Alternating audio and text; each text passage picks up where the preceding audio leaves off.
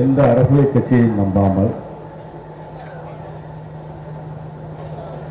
மக்களை நம்பி மக்களை வழிநடத்தி இந்த போராட்டத்திற்கு கிடைத்த பரிசு இத்தனை உயிர்களின் பலி.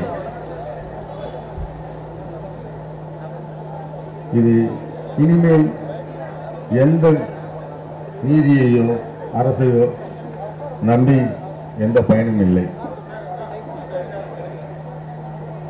பொதுமக்களாகிய நாம் தான் பொதுமக்கள் சார்பில் ஒரு உண்மை கிணறின் குழுவை அமைத்து உண்மையிலேயே அங்கு என்ன நடந்தது?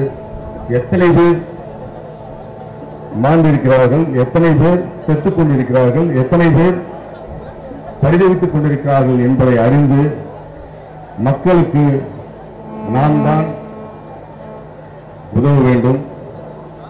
ஆதவன் தீட்சணி அவர்கள் சொன்னார்களே கொலை செஞ்ச வீட்டிலேயே போலீஸ்காரங்க போய் தண்ணி கேட்டாங்க. அவங்க பொறுப்பா நான் செஞ்சேன்றாங்க அதான் மக்கள். அந்த மக்களுக்கு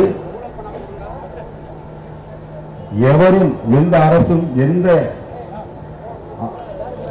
நீதியும் கிடைக்காது.